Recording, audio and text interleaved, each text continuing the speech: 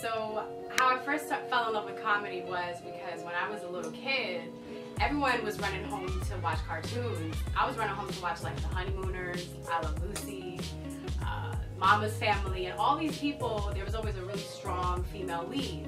And subconsciously I took to that because, you know, usually it's a man who is making something funny and it's like, you know, when I was a little kid, I thought, oh man, if I could just be as funny as like Ethel or you know, Alice from the Honeymooners or Mama from Mama's Family, I would just propel so far working on it. I'm gonna get there. But um, that's kind of how I fell in love with comedy because, you know, I, not many people know this, but I spent one full year living without talking at all. Oh,